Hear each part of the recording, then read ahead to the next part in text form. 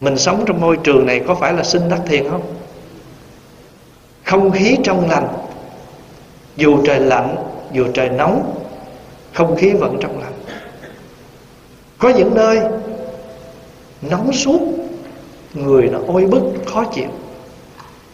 Môi trường rất là ô nhiễm, ra đường thì hít bụi, ăn uống thì toàn hóa chất. Thì mình thấy rằng sống cuộc sống với con người mình cũng không tin tưởng được, tại lường gạt đủ kiểu hết. Cho nên đi ra xã hội biết tin ai. Ăn uống thì quá nhiều, cái độc tố. Ra đường thì quá nhiều, bụi bặm.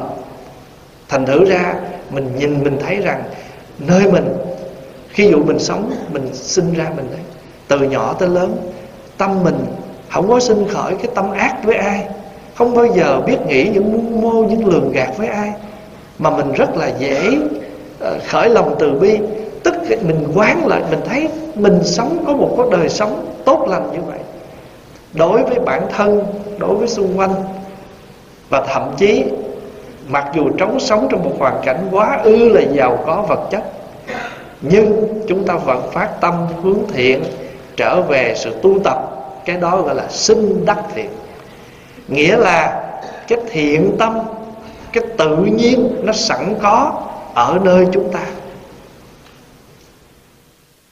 Ví dụ mình cầm một ly nước mình uống trân trọng có ly nước sạch mình uống. Có những lúc đó, người ta ở quốc gia một cái nơi mà không có nước sạch.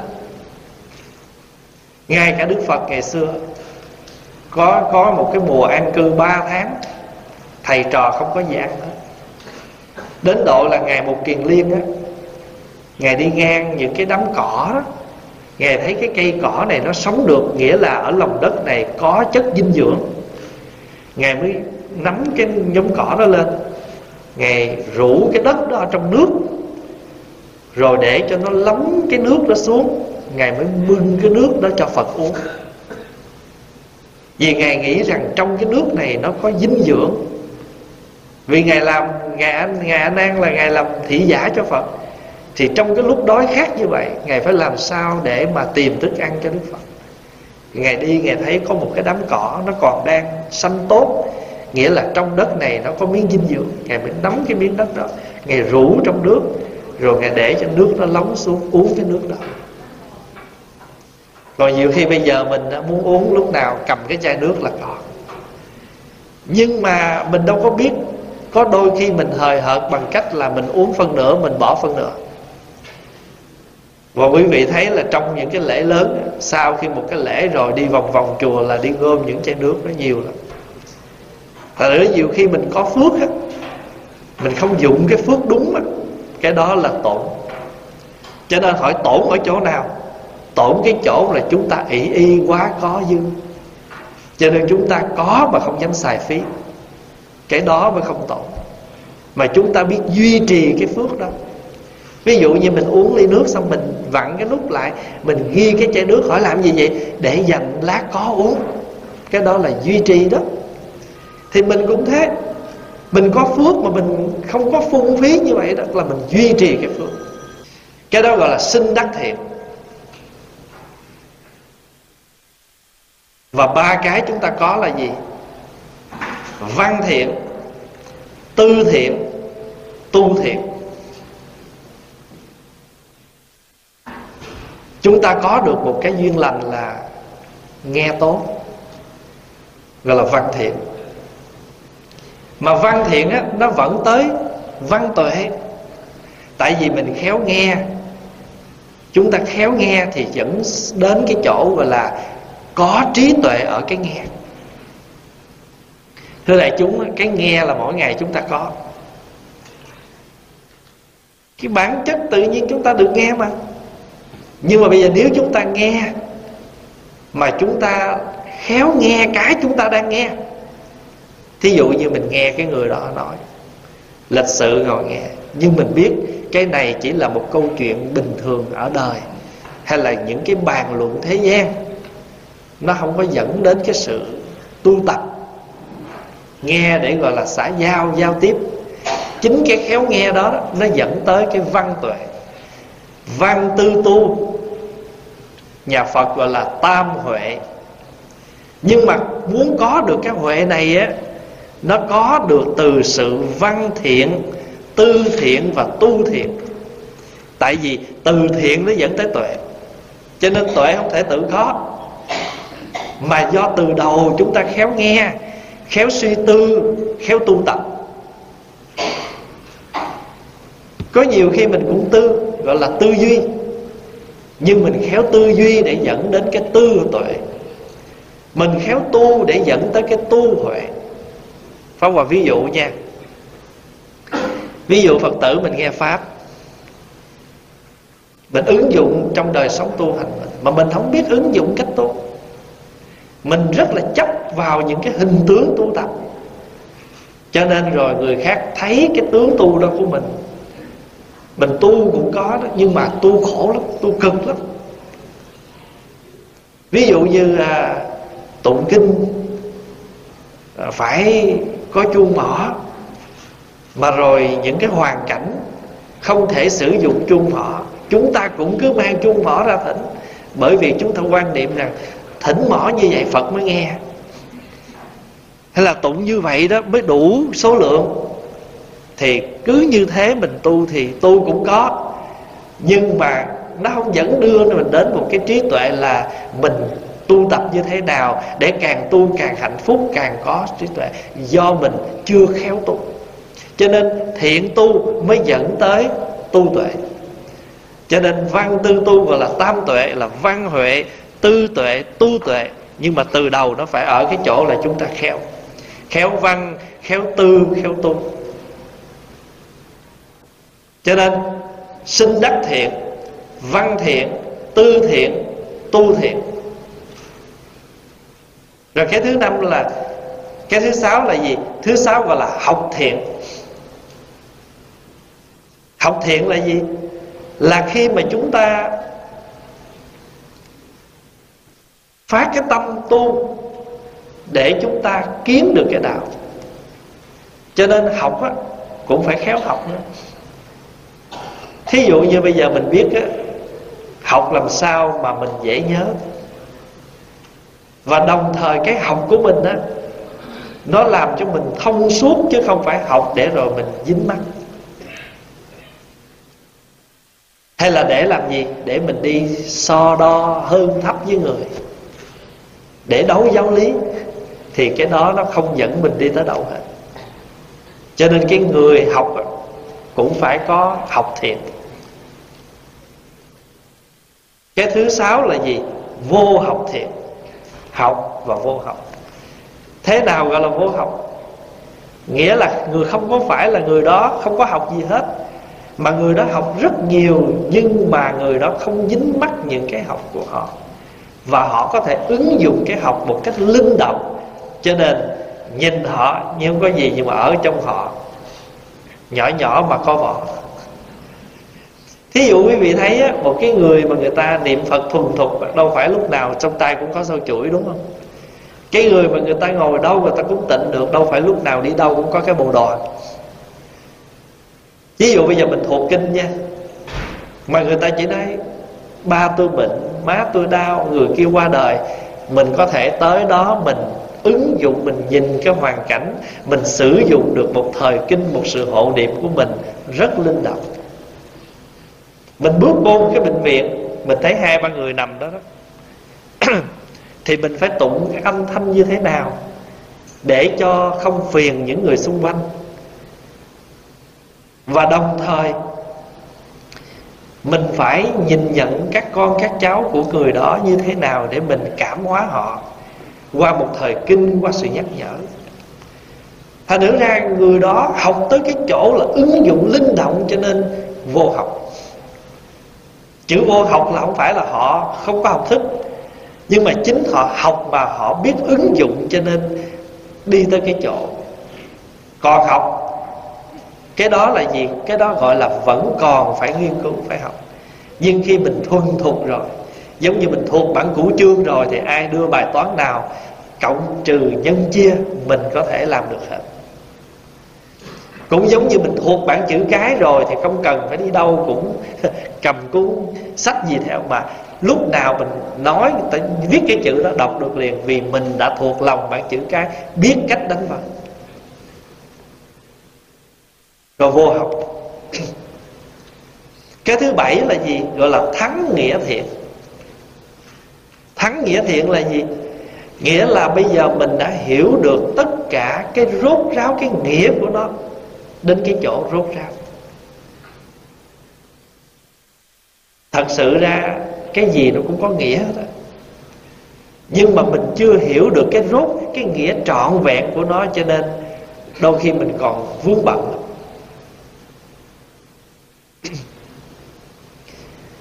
cái đó gọi là thất chủng thiện, sinh đắc thiện, văn thiện, tư thiện, tu thiện, học thiện, vô học thiện. Là gì nữa? Thắng nghĩa thiện. Mà trước hết phải nói tới cái gì? Sinh đắc thiện. Chúng ta sẵn có chúng ta nhận diện rằng chúng ta có được một cái duyên là chúng ta sinh trong một cái hoàn cảnh và hay là mình nhìn lại tâm mình. Thấy rằng đâu có ai biểu mình phải từ bi, phải gì, nhưng mà tự mình, lớn từ nhỏ tới lớn mình sinh ra, tâm mình lành như vậy. Cái tự tánh thi, tự tánh tự nhiên của mình nó lành như vậy đó là tốt. Hay là từ nhỏ tới lớn là mình phát tâm hướng phật? Còn cái chuyện mà mình à, đem mình khuyến khích người khác là cái điều đó là mình làm cái chuyện giáo hóa. Có những người á, người ta thiện mà phải đợi tới cái gì? Đợi tới lúc mình khơi, có thậm chí rồi dụ, đủ cách hết. Còn có những người tự thấy sinh tâm. Cho nên khi mình thấy ai mà người ta khổ, mình tự phát tâm, mình tới giúp mà không cần sự mời thỉnh gì hết là mình biết. Mình gọi ngay tên của nó, cái này là sinh đắc thiện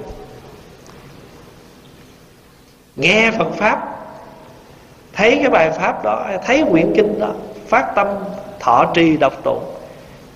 Trên cái nghĩa lý thì chưa biết, nhưng mà còn thích cái điều lành đó là mình biết là mình còn sống trong cái điều điều tốt thì nói cái này á, để pháp hòa dẫn vào một bài kinh. Bài kinh này có cái tên là a nan tứ sự nói đến bốn cái sự việc. Phước. Nghĩa là chúng ta có phước và chúng ta làm sao để được cái phước và được giải thoát. Gọi là a nan tứ sự. Bốn sự việc của ngạ này đây là bài kinh.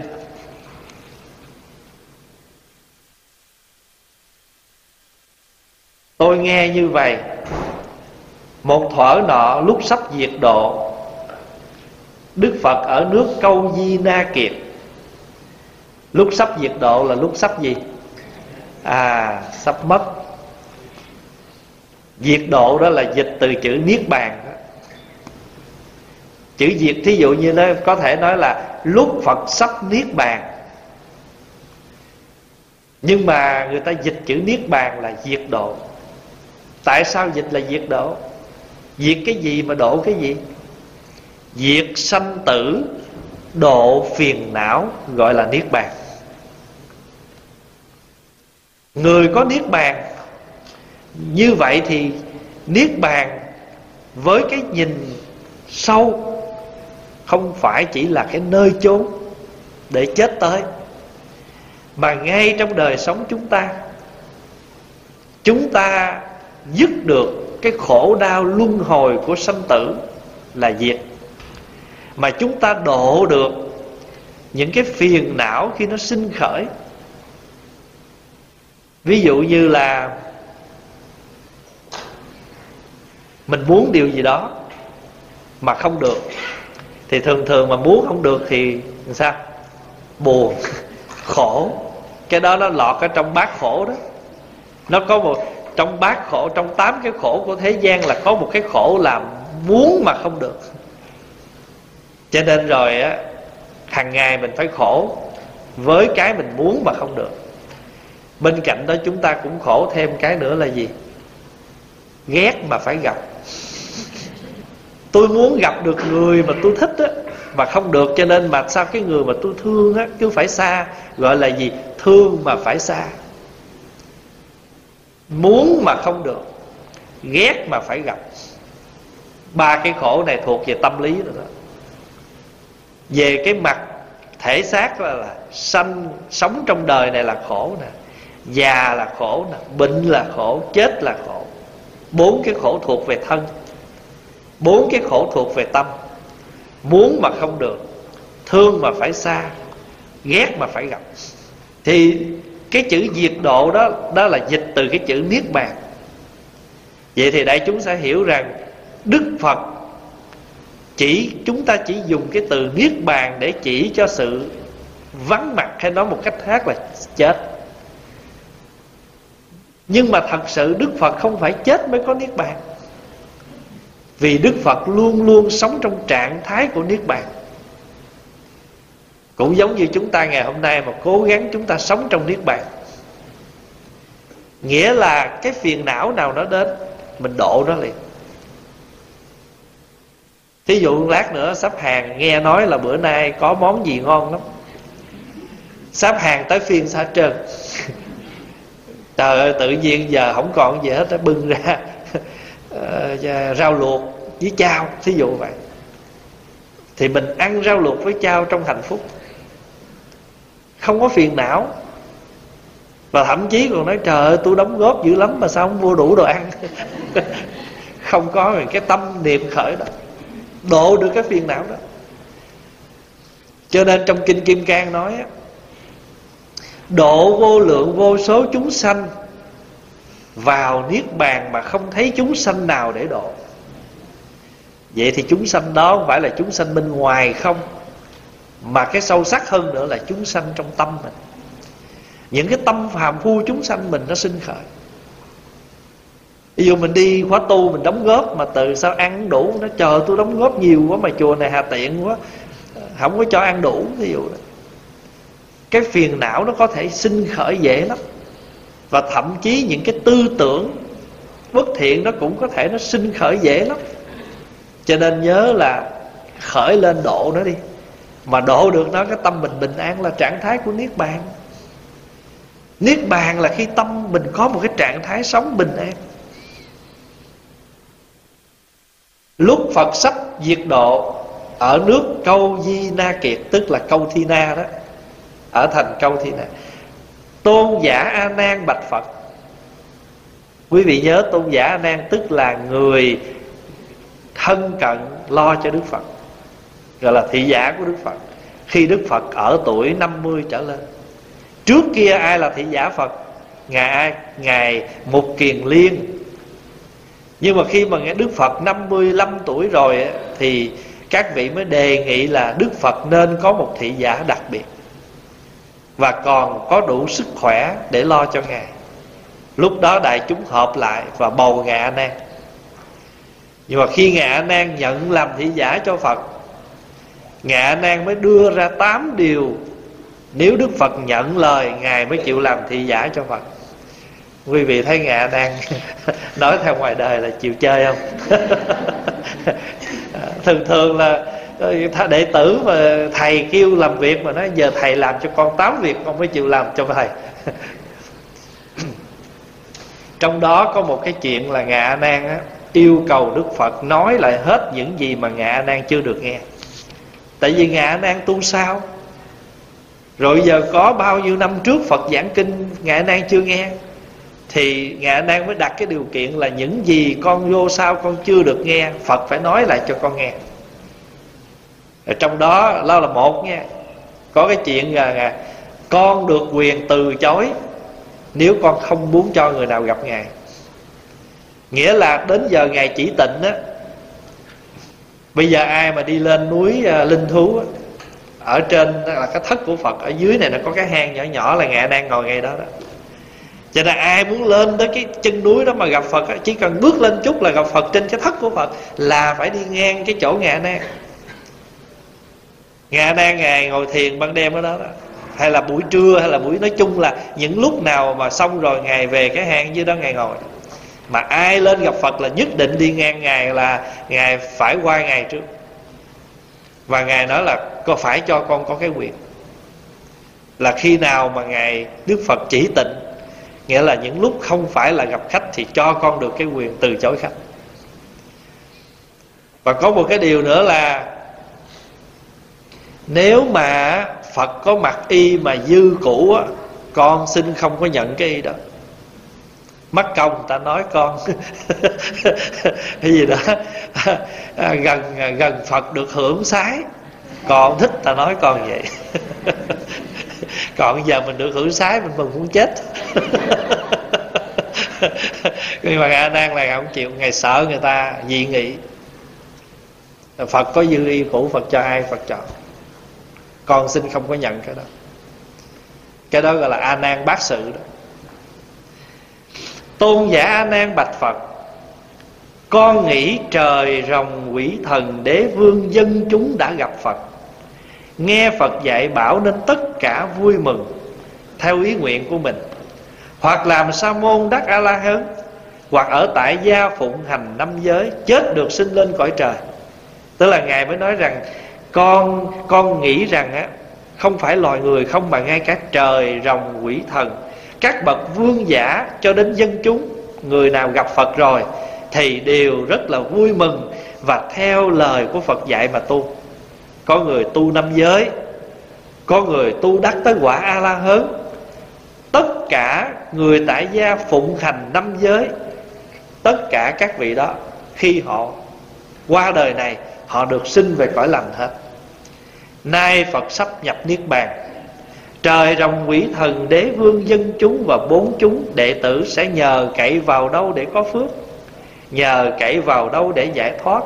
Và sẽ theo ai để được như trên? Tức là ngài đặt một câu hỏi cho đức phật. Bây giờ phật còn đây nè, tụi con nương ngài, tu. Thiệt tụi con còn biết có thầy nè, có phương hướng nè. Bây giờ phật mất rồi thì con như rắn không đầu, biết tu sao rồi biết nương vào ai để mà con nương vô phật hàng ngày phật biểu con làm này này, cái con có phước. Con được cái phước báo do tu tập theo lời phật. Bây giờ phật mất rồi, con đương vào đâu để cái phước này nó tăng trưởng? Phật mới nói, lành thai lành thai này a nan trời người và các loài khác được độ thoát đều do lòng thương bao la của ông. Tại sao phật nói câu đó? Bởi vì ông giỏi quá ông tôi sắp mất. Ông đặt một câu hỏi để các người sau nhờ câu hỏi này mà được sự tu tập. Các vị này nhờ vào tình thương bao la của ông. Tại vì ngã đang đặt câu hỏi để cho mình có cái đó mình tu. Cái này là ngã đang nan khởi duyên. Cho nên trong cuộc sống của mình là chịu khó để ý có những người ta hành hạnh a nan. Ta khởi cái duyên đó. Ví dụ một cái người ta tổ chức trai tăng. Ta tổ chức trai tăng, ta cầu siêu cho mẹ người ta. Mình đi chùa, mình thấy ô con hôm nay có lễ trai tăng. Xin cho tôi được phát tâm cúng dường. Cái người đó là người khởi duyên thỉnh tăng tới để cúng dường và nhờ cái người đó mà mình được cái cơ hội mình gặp chư tăng, mình cúng dường. Cho cái người gia chủ mà phát tâm tổ chức lễ trai tăng là khởi duyên. Hay là nói cách khác là họ tạo duyên. Còn mình là tùng theo cái duyên đó. Cho nên ví dụ có những người người ta đăng ký ta tu hôm nay ngày. Nhưng mà có những phật tử không có đăng ký được. Nhưng mà hễ giờ nào ta nghe pháp ta vô ta nghe thì bình thường gọi cái vị mà đi dự cái đó gọi là dự thính. Nhưng mà mình là khởi duyên, mình là chúng tu. Còn các vị đó là tùy duyên mà tu. Nghĩa là sao? Tùy cái duyên nào ta rảnh. Ai có thời gian tụng kinh ta vô ta tụng kinh ta đi làm. Có nhiều người ta phải vô ta nghe thời pháp rồi, tới giờ ta đi làm. Thành thử nếu mình suy nghĩ cho kỹ, mình thấy ô mình cũng được cái phước chứ. Cho nên nghĩ vậy cái không ganh với ai hết không tỳ hiềm với ai hết mà chẳng những vậy mà không ghét ai nó tôi thấy ghét ghê vậy tôi làm gì cũng làm theo hết. Trời ơi ta làm theo ta làm thiện chứ phải không?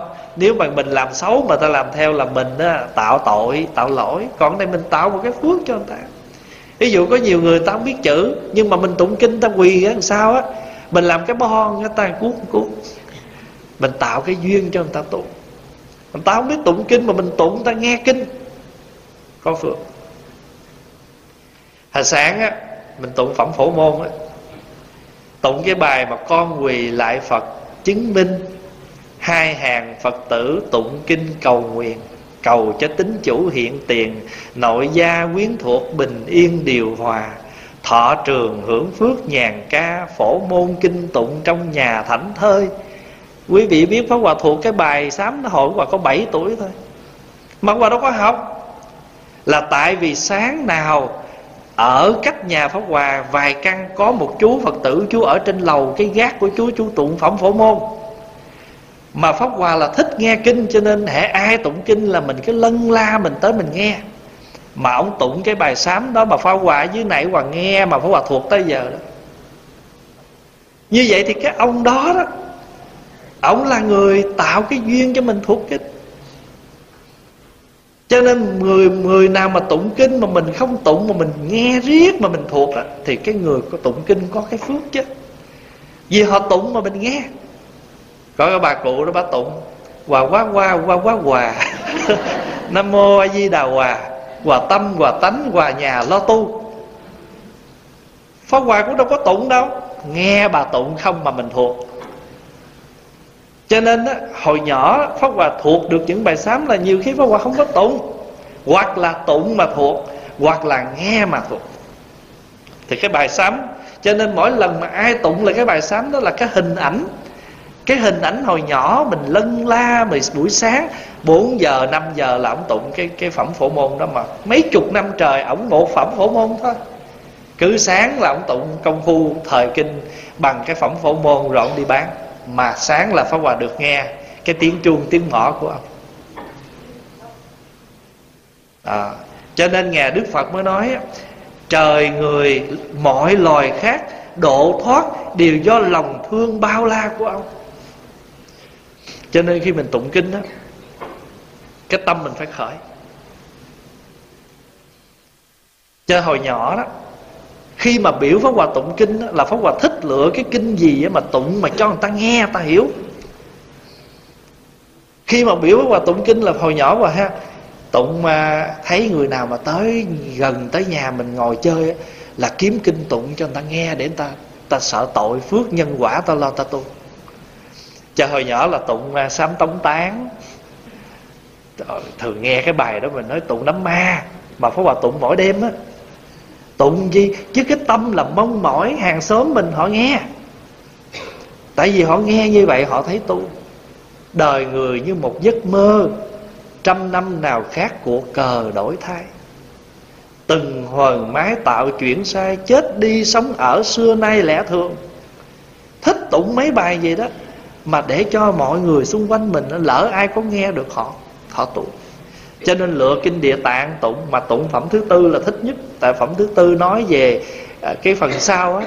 À, nếu à, gặp cha mẹ ghẻ ăn ở độc ác thời ngày giải rõ quả báo à, hiện đời bị roi nếu gặp người phung phí của cải thời ngày giải rõ quả báo đời sau tiêu dùng thiếu hụt thích tụng mấy đoạn đó đó. Để cho mọi người ta nghe người ta tụng cho nên tôi tiêu tụng đám tang cũng vậy. Thích lại lấy cái phẩm mà báo hiếu phụ mẫu, tụng để cho người ta nghe, ta hiểu. Chơi khi mình tụng kinh đó hoặc đừng có, đừng mình tụng kinh là mình cầu an cho người này kia. Nhưng mà trong tâm mình khởi là mong mọi người, ai có cơ duyên được nghe. Trên cái bài kệ không? Nếu có ai thấy nghe, đều phát tâm bồ đề. Hết một báo thân này sanh qua cõi cực lạc họ không có tụng, nhưng mà nhờ cái lời kinh mình tụng, người ta nghe, người ta thấu, người ta phát tâm. Dù một chút nào, dù một đoạn nào, có một lần qua đi tụng, thì có một cái vị mục sư á, ông ghé chùa. Ông nói, bữa đó tôi có đi dự cái đám tang đó, mà tôi nghe thầy tụng cái gì mà hồi nào đứng đứng ngồi ngồi thầy cho tôi xin cái bài đó. Thì mình thấy là mình mình mình lựa kinh, mình tụng mà cái người đó người ta nghe. Cho nên mình nói tụng cho đám mất á. Thấy không? Người chết hưởng có một phần. Nghĩa là mình vì người đó mình tụng mà người đó hưởng nhiêu nhưng mà người còn sống hưởng được tới sáu phần. Tại vì sao? Họ hưởng cái phước họ hưởng được cái lời kinh đó. Họ thấu được lời kinh đó. Họ ứng dụng trong đời sống của họ lời kinh đó. Có phải là phước lớn không? Vì người còn sống là tác phước cho cái chữ mà nói là người chết hưởng một phần đó, là một cái ý muốn nói rằng mình hướng tâm về người đó, nhưng mà độ tử là một, nhưng mà độ sanh tới sáu là. Nếu mà nghe một trăm người ngồi đó, mà nếu năm chục người mà họ thấu, họ tu thôi là mình có lời rồi. Sau khi diệt độ, trong đời năm trượt lòng người mờ mịt dấy lên cấu quế nhiều điều điên đảo. Năm trượt là gì, ai nhớ không? Hồi sáng tụng công phu lăng nghiêm nè.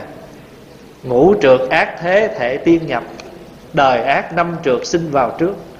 Năm trượt là gì? Một là kiếp trượt, hai là kiến trượt, ba là phiền não trượt, bốn là mạng trượt, năm là chúng sanh trượt. Trượt là gì? Trượt là dơ, là cấu uế, là bẩn. Vậy thì trong đời này, trong đời này nếu năm cái trượt đó mà nó còn thì chúng ta gọi là ngũ trượt ác thế. Nhưng mà chúng ta tu á, thì không phải là chúng ta chỉ nhận diện đời ác năm trượt rồi chúng ta bỏ phế nó, mà chúng ta chuyển trượt thành gì? Thành thanh tu là vậy đó. Tu là chuyển cái trượt thành cái thanh cho nên tại sao con người của chúng ta có cái nhìn sai lệch gọi là kiến trượt thì Phật mới dạy chúng ta là phải có chánh kiến để trừ cái cái trượt đó đi. Chú Phật dạy rồi chúng sanh chúng ta có phiền não trượt Thì chúng Phật mới dạy chúng ta là tư duy Để chúng ta trừ cái phiền não đó đi. Cho nên đó, tu là chuyển trượt thành thanh chứ không có gì hết. Như ngày hôm qua Pháp Hòa ví dụ vậy. Đây là một bình hoa. Cái hoa này nó héo, Rút cái hoa này ra Thì kiếm một cái hoa khác thế vào. Tu là làm công việc đó đó. Là làm cái công việc là thấy cái gì hư, bỏ. Đức Phật dạy trong kinh, Có một bài kinh Đức Phật nói, Người tu là làm gì? Cái gì hư thì sửa, Cái nào sụp đổ, xây dựng. Cái nào mà nó, Thí dụ như trong gia đình mình nè Hạnh phúc bây giờ lung lay, Thì mình phải tìm mọi cách để chỉnh đốn lại cái đó. Tu là người có khả năng Sửa những cái đã hư, Xây dựng những cái chưa có. Cho nên á, trong đời ác năm trường, lòng người mờ mịt tự giấy lên cấu uế. Mờ mịt là gì? Mờ mờ, mù mù, không có rõ mình nói cái gì, không có hiểu bây giờ phật tử mình làm cũng nhiều thứ lắm mà không hiểu mình đang làm gì chứ ví dụ như mình à, thắp cây nhang cúng. Nhưng mà ta hỏi tại sao thắp hương là không biết à mua trái cây, lúc nào cúng gì cũng đi mua trái cây cúng mà ta hỏi tại sao cúng trái cây. Không giải thích được. Đó. Cái đó là mờ mờ mịt mịt đó.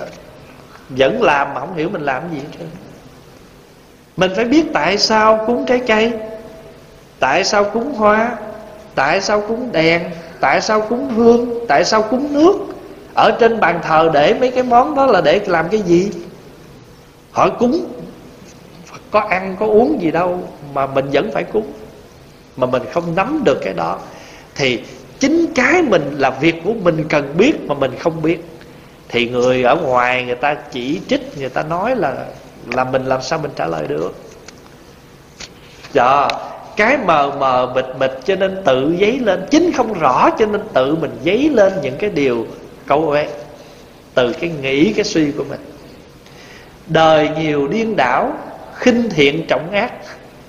Tức là cái điều thiện thì mình coi thường, mà cái ác thì mình cứ làm. Thật đáng buồn thay.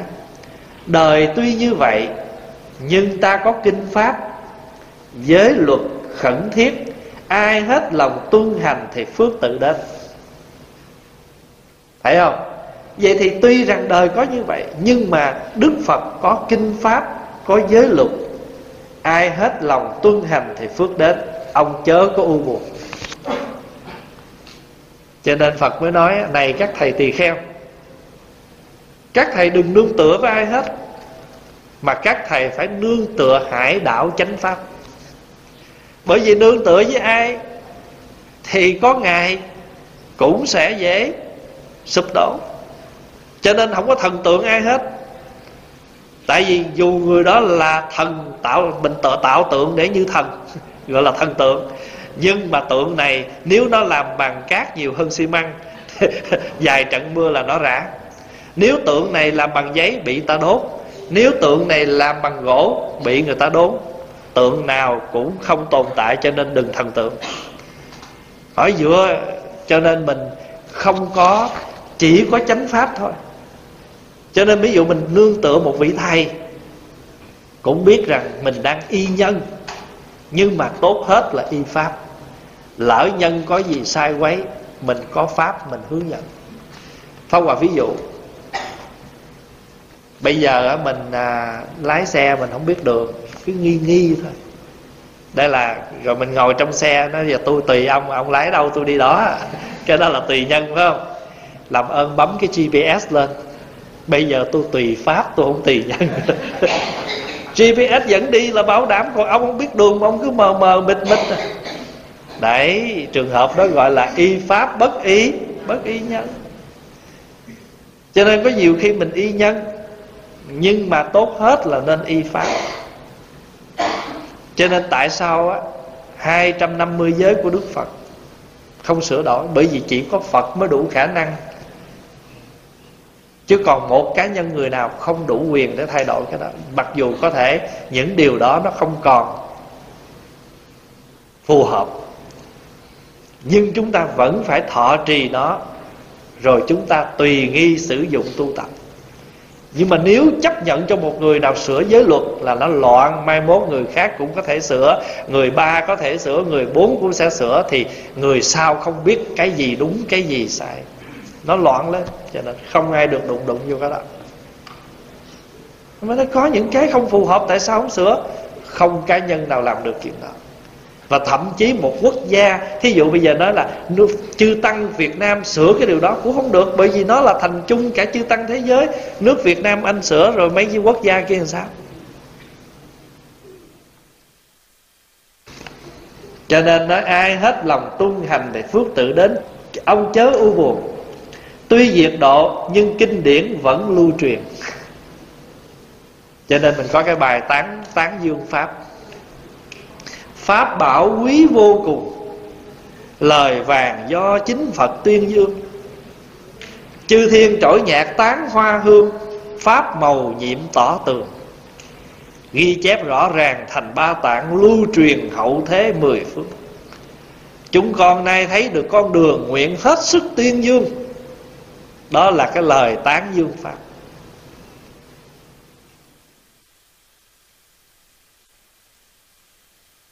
Nếu như, nếu hành giả giữ gìn đại pháp, sáu độ không bỏ, thì được giải thoát chẳng phải thần trao cho. Anh mày được giải thoát không phải ông thần nào hết, mà anh đi theo cái sáu cái độ. Quý vị nhớ sáu độ không? Bố thí, trì giới, nhẫn nhục, tinh tấn, thiền định, trí tuệ. Cái đó gọi là lục độ. Lục độ tức là mình nói theo tiếng việt là sáu pháp qua bờ sáu cái pháp này sẽ giúp cho mình qua đến bờ an vui giải thoát. Hỏi bây giờ bây giờ phong phong hòa ví dụ các vị người ta hỏi mình nè. Cư sĩ tại gia tu năm giới. Các thầy tu 250 giới. Bồ Tát tu gì? Bồ Tát tu lục độ. Bồ Tát là tu sáu độ là bố thí, trì giới, nhẫn nhục, tinh tấn, thiền định, trí tuệ. Còn các vị thanh văn là người ta tu tứ đế Ta quán tứ đế, ta nghe tứ đế, ta tu tứ đế. Còn các vị duyên giác là tu thập nhị nhân duyên Quán cái 12 nhân duyên. Rồi bây giờ nói nếu hành giả giữ gìn đại pháp sáu độ không bỏ thì được độ thoát chẳng phải thần trao truyền. Các ông không hiểu những lời ta nói chăng? Tôn giả a nan liền bạch xin thế tôn nói lại cho please repeat. Phật nói có bốn đại pháp có thể được phước, Có thể đắc đạo, chánh đẳng, chánh giác như Phật. Tôn giả A Nan lại bạch Cuối sinh Thế Tôn vì chúng con mà giải thích bốn việc ấy. Cái này là Pháp Hòa trích từ trong một cái kinh bộ gọi là kinh kinh à, kinh tập tập kinh. Bây giờ Đức Phật nói nè, Đây là pháp thứ nhất. Nên đem tâm từ nuôi dưỡng người yếu ớt, Người hạ tiện, Người hành khất để sống Và những loài cầm thú trùng kiến. Đây là cái pháp thứ nhất để được phước nha. Thứ nhất là phải đem tâm từ nuôi dưỡng người yếu ớt.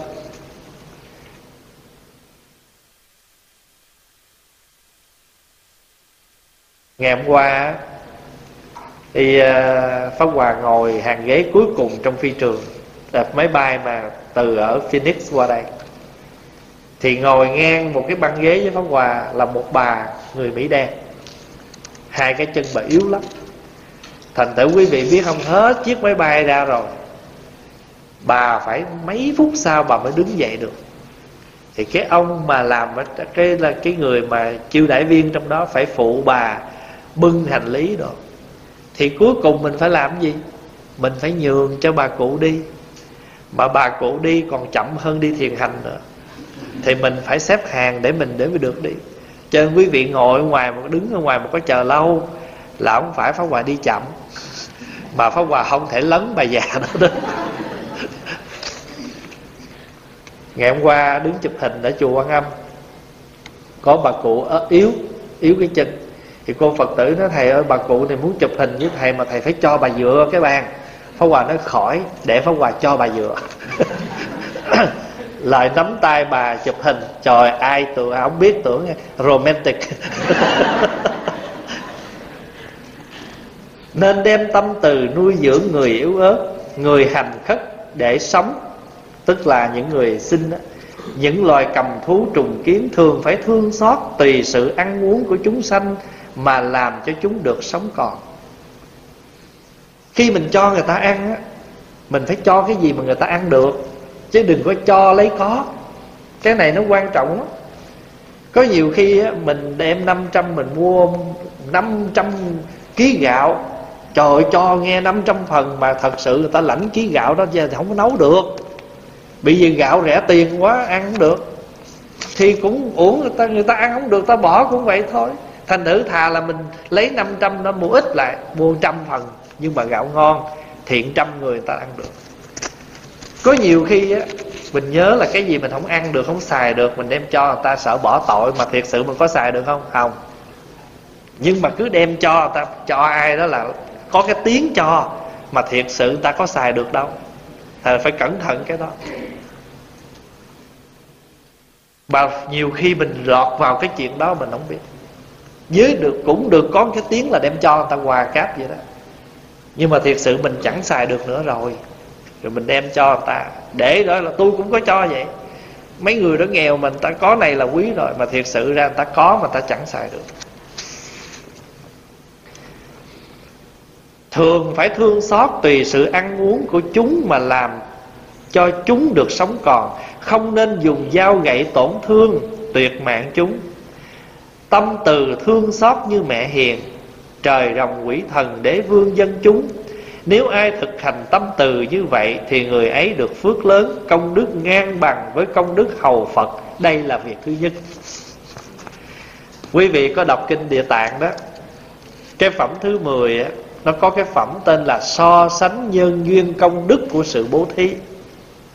Thì trong đó nói á, Dù là một ông vua Thấy một người phụ nữ Đang xăm hay là thậm chí thấy chùa hư kinh rách, vị đế vương đó tự tay mình làm, khuyến hóa người khác làm. Nhớ không? Thì công đức lớn. Ở đây là mình khuyến người ta làm rồi, nhưng mà cái cốt yếu là gì? Tự mình làm. Để cho người ta thấy rằng mình nói mà mình có cộng sự và đó chính là cái chỗ nhiếp hóa chúng sanh của bồ tát. Mà trong tứ nhiếp pháp, cái đó gọi là gì? Đồng sự. Đồng sự. Bây giờ nói tới điều thứ hai. Đời có tai biến. Tai biến tức là thiên tai. Khủng bố. Mưa nắng không điều hòa. Muôn dân mất mùa, đói kém. Ngũ cốc thiếu thốn ở chỗ chẳng yên, muốn bỏ trốn đi nơi khác. Vua và thần dân giàu có tích chứa lúa gạo nên nghĩ đến vô thường, thân mạng khó giữ. Ngu si yêu thích của báo lúa gạo. Nếu biết yêu mến thân người, thì nên khởi tâm thương, đem lúa gạo trong kho ra và phân phát cho người bần cùng thiếu ăn, để cứu giúp thân mạng họ, để chỗ họ ở được yên ổn mình thấy người ta thiếu thốn, mà mình có dư, mình cho ra. Thường thường á, thưa đại chúng, mình nghĩ vậy là mình cho nó dễ lắm. Khi người ta cần mình không cho, không lẽ đợi lúc ta đủ mình đem cho? Ta đủ thì cần nữa không? Không cần. Mà mình cho thì nghĩa là dư cho nên cái lúc người ta cần sự giúp đỡ của mình thì mình nên giúp giúp mà đúng lúc thì cái việc đó dù nhỏ nó quy chứ cái lúc mà người ta đầy đủ rồi ta cho đâu quý. Ví dụ hồi mình mới qua, hồi mới mới ở tại tị nạn qua nước mỹ đó, thì người ta bảo lãnh mình qua là đầu tiên ta cho mình gì? Có đôi lúc ta cho mình chiếc xe cũ đạp lái, cho quần áo cũ mặc, mà lúc đó mình mừng không? Mừng là tại vì mình không có mình mới qua không có gì hết mà ta cho những cái đó. Thì cái mặc dù là đồ cũ nhưng mà lúc đó mình rất là cần. Ví dụ mình qua cái xứ lạnh, mình đâu có áo lạnh đủ đâu. Ta cho mình mình mừng. Có một năm á, nó hoài nhớ cái năm đó là năm đầu tiên mà đi giảng bên Texas năm 99 nghe nó Texas nóng. Cho nên mình cứ nghe cái từ đó nóng. Rồi đi không áo lạnh đi vô cái chùa đó, trời ơi, nằm trong rừng nửa đêm nó lạnh muốn chết luôn mà không có đủ để ấm. Bị không có áo lạnh. Mà mền đó thì như cái ra giường vậy làm sao? Trời phóng hoàng lạnh không ngủ được sáng đêm. Sáng ra gặp thầy trì nó thầy ơi, con lạnh quá, thầy có cái áo lạnh gì thầy cho con mượn. Ổng đem nguyên cái áo ngủ mà thứ mấy người ta mặc ta khoác tắm. Không lẽ phóng hoàng mặc áo để đi vòng vòng? nhưng mà tối mà đắp cái đó ngủ đỡ lắm. Nếu còn tham tiếc không muốn bố thí thì nên suy nghĩ. Đây nếu người nào tham tiếc, phật chỉ mình cách suy nghĩ nha. Người mới tái sinh, thần hồn từ không mà đến. Nương vào tinh khí tình dục của cha mẹ để thành thân thể. Ở trong thai mẹ 10 tháng mới sinh ra, thân mạng được toàn vẹn. Được người thân vui mừng, những ngày âu lo tức khắc dứt hết. Cuối cùng cũng phải chết thần hồn chẳng mất, sinh chẳng, sinh trở lại thân giàu sang phú quý bằng tiện, đều do những việc làm của đời trước. Người được quan tước bổng lộc quốc độ châu báu, không vì mê hoặc mà để loạn đạo đức. Đạo cao, đạo đức cao cả, đến khi qua đời, thân thể và châu báu để lại thế gian không đi theo mình vậy nương thường khởi tâm từ, thực hành kinh đạo, nhờ giáo pháp của phật mà quán thấy người vật như huyễn hóa, như mộng, như tiếng vang. Tức là phật dạy mình quán ba điều. Ví dụ như một cái người đó đó, họ nương vào cái thai, họ sinh ra đời này, rồi họ cũng giàu có đủ thứ hết, rồi họ cũng chết thì bây giờ mình phải thấy rằng á, bản thân mình cũng vậy. Bây giờ mình quán á, từ cái của cải vật chất mình nó như ba thứ thôi. Một là như huyễn hóa, hai là như mộng, ba là như tiếng vang. Quý vị biết cái này phật dạy trong kinh gì không? Kinh kim cang. Nhất thiết hữu vi pháp. Tất cả các cái pháp hữu vi tức là có tạo tác. Thí dụ như cái hoa này nè do hạt do đất do mưa do mây do nước do người mà nó có thì cái bông này là một pháp hữu vi. Bởi vì cái này nó có sinh diệt. Cái chuông này là hữu vi cái chùa này hữu vi. Cái gì mà có chúng ta tạo dựng là nó sẽ dễ sụp đổ. Thì tất cả những cái gì mà hữu vi nói như mộng có phải như mộng không? Đấy, cuộc đời mình là một cái đại mộng chứ gì nữa mới ngày nào mình trẻ, hồi nhỏ tóc thắt tóc bính, lớn lên để tóc dài, rồi bới, rồi giờ sao cắt ngắn ngủn vậy? Tại giới tay không nổi nữa. Giới tay không nổi để bới thì phải cắt cho nó gọn. Chứ đâu phải là mình gì nữa đâu. Bây giờ là, hỏi tại sao giờ mặt đơn giản vậy? Ủi hết nổi rồi. Cho nên là tất cả hữu vi pháp như mộng như huyễn. Dạ. Cho nên đức phật nói là tất cả vật như huyễn hóa, như mộng, như tiếng vang là như điện chớp. Cho nên đó, trong bài kệ là nhất thiết hữu vi pháp như mộng, huyễn, bào ảnh, như lộ, diệt như điển thấy không? Nhất thiết hữu vi pháp như mộng, huyễn, bào ảnh, như lộ, như điển như mộng là như giấc mộng huyễn là giả bào là bọt.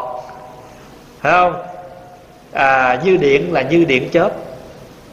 Nhất thiết hữu viết như, như mộng huyễn bào ảnh như là cái bóng thôi. Như lộ là như xương. Như điển là như cái cái cái cái điện chớp. Cái đó người ta gọi là lục như. À lục như. Lục như trong kinh kim cang là tất cả pháp như mộng huyễn bào ảnh bào ảnh như lộ diệt như điện. Ư tác như thị quán, hãy nên thường quán như vậy để tất cả sự vật. Bây giờ chỉ cần quán như vậy đó, nhiều khi mình có cho ai gì hơi tiếc tiếc đó. thôi mình để cũng không xài. Người ta xài giờ cũng quý, đợi tới hư mà cho thì đâu có quý nữa. Mà thường á, mình có cái tật hà tiện, lúc còn tốt không ăn cứ cất rí, cái bữa nào nhìn sao cứ nhắc rồi đem nói mấy đứa lại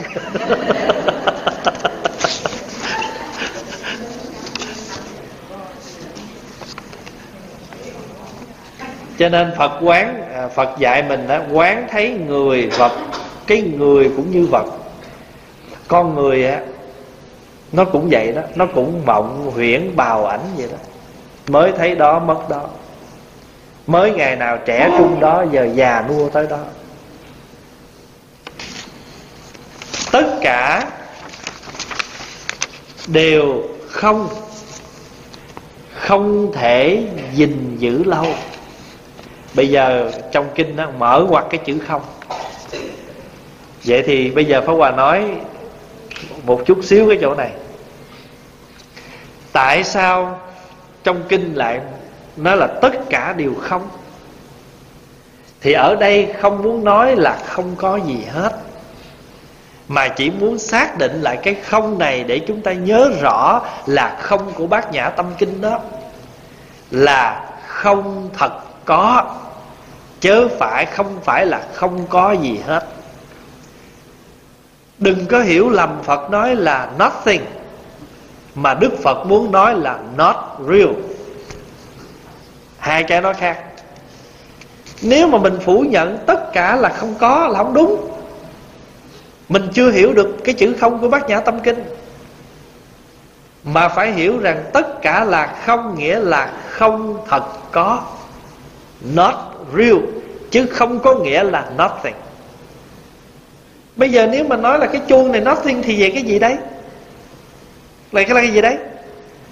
À chưa trọn vẹn ý nghĩa bây giờ muốn chọn nghĩa phải không? Nói vậy nè. Cái chuông này nó có, nhưng mà nó không thật có. Vì nó không thật có, cho nên có ngày nó bể. Vì có ngày nó bể cho nên nó là không thật có. Mà nếu cái chuông đang hiện hữu ở đây mà bảo là không có gì hết là không đúng. Phải hiểu chữ không trong bát nhã tâm kinh thì mình mới thấu được tất cả các pháp cái chùa này có không? Có. Nhưng mà cái chùa này có có thật tồn tại mãi mãi không? Không. Vậy thì cái chùa này có là có một cách vi diệu, cho nên gọi là diệu hữu. Nhưng mà cái thật tướng của cái chùa này là không tướng. Bởi vì ngày xưa là một cái miếng đất rộng, rồi do cột kèo xi măng ngói đủ thứ các duyên hợp lại để có cái chùa nhưng mà cho dù nó bền chắc cỡ nào 100 năm, 200 năm Rồi có ngày tất cả nó sẽ hư một. Nó trở, nó không có. Cho nên cái này là không thật có. Quý vị nhớ cái chùa Kali Xây 500 ngàn. Rồi do không đúng luật như thế nào đó City đem xe xuống cào sạch cái chùa trong một buổi sáng. Cái chùa chưa xong mà chưa khánh thành mà đang xây cất mà. Và do một cái vi phạm cái luật gì của cái city đó mình không hiểu. Mà city đem xe xuống, cào sạch cái chùa đó. Thành nữ ra, đã mới toanh, nhưng mà nó cũng có thể trở thành không trong một buổi sáng. Cho nên Đức Phật dạy mình nhìn tất cả các pháp là không. Ví dụ cái bình hoa này nè, Có đây nè. Nhưng mà cái này là có tạm. Nếu mà đem rứt nó ra từng cái nó không còn cái bình hoa gì nữa hết. Và thậm chí để yên nó như vậy, hai tuần sau nó héo khô, rồi chúng ta cũng phải bỏ. Như vậy cái này có, nhưng mà không thật có. Thân này cũng có, mà không thật có. Của cái mình cũng có, mà không thật có. Thử bây giờ mà con mà nó thua bài bạc coi, mình để hở nó về nó gom một cái, không thật có. Đi chơi, bỏ lên facebook gia đình tôi đang đi cruise. Rất là vui. Ăn trộm nó nói cảm ơn báo tin nha. À, anh dễ thương quá anh đi cruise mà anh báo tụi tôi biết. Tụi tôi biết là anh đang ở xa lắm. Anh báo cho tụi tôi biết là go ahead. Nó vô nó khiên sạch hết. Vậy đi về cái là trời ơi. Đi về tốn tiền chưa được nghỉ mệt, thêm mệt nữa. Hết, sạch hết. Chơi của cải trộm cướp nè, con phá nè, bị tịch thu nè, nhà cháy nè, nước trôi nè, năm cái đó của cải là thuộc của năm nhà. Đó. Mấy tháng trước cháy rừng ở Cali, thấy không? Nhà hàng bạc triệu cũng sạch.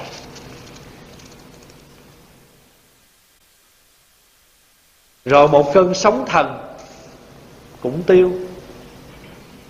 Con mà nó hư đốn, cờ bạc, gia sản cũng tiêu hết. Ăn trộm nó vô, nó khiên cũng mất hết. Vi phạm cái gì đó, chính phủ cũng có thể tịch thu tài sản của mình. Không thể gìn giữ lâu. Quán thế gian như vậy, đây là chân đế. Chân đế là gì? Nghĩa là sự thật.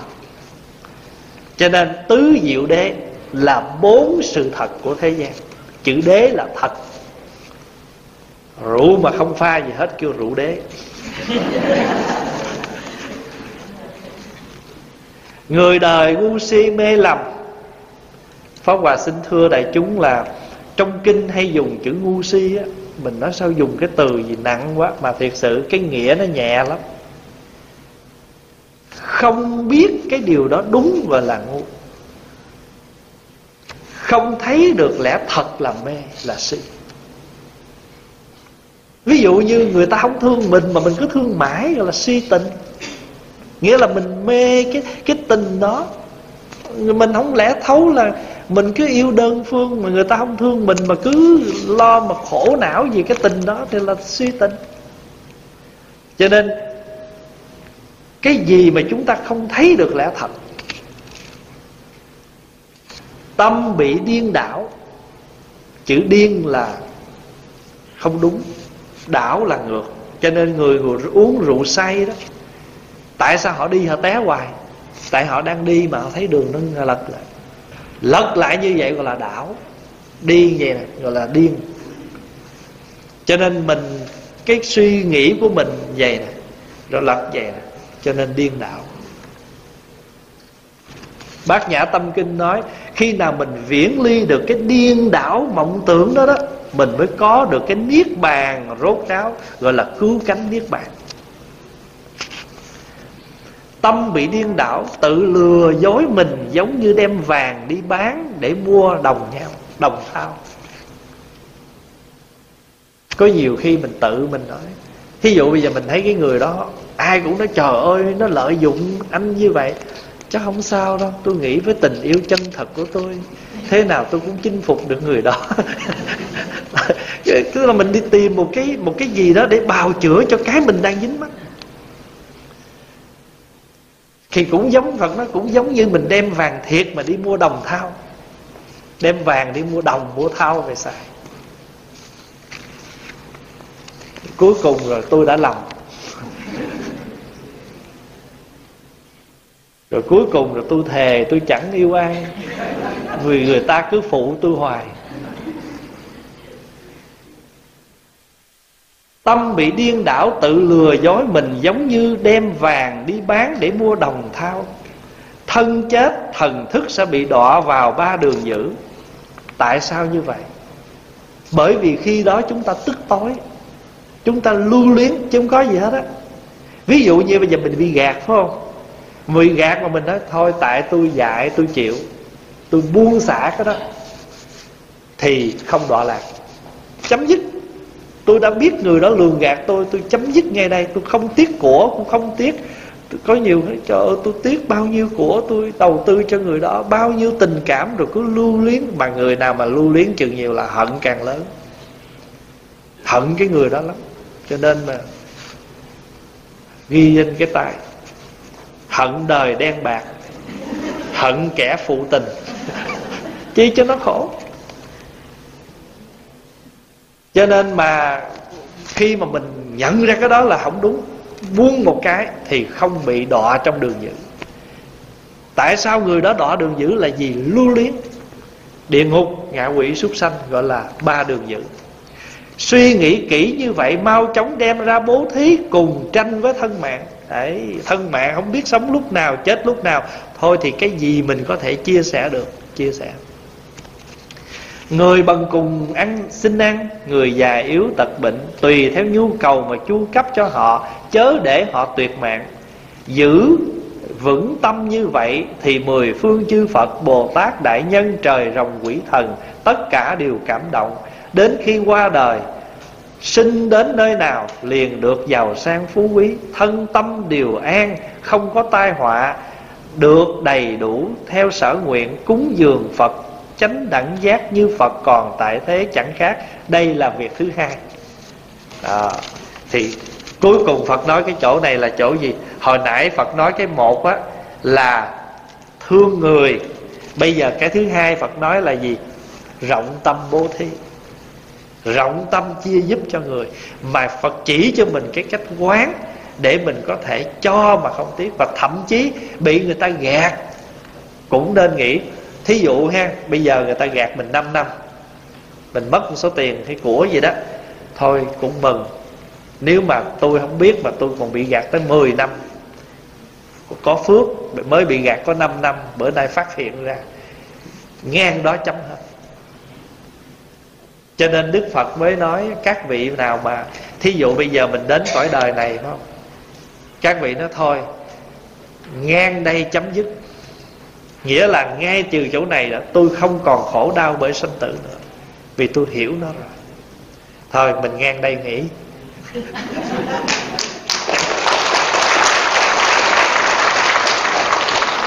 Chiều mình học tiếp.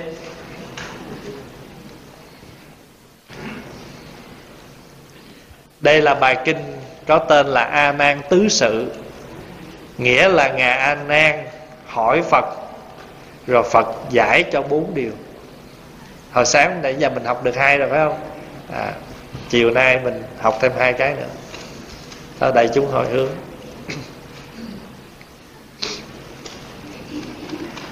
Nguyện à, đem à, công à, đức này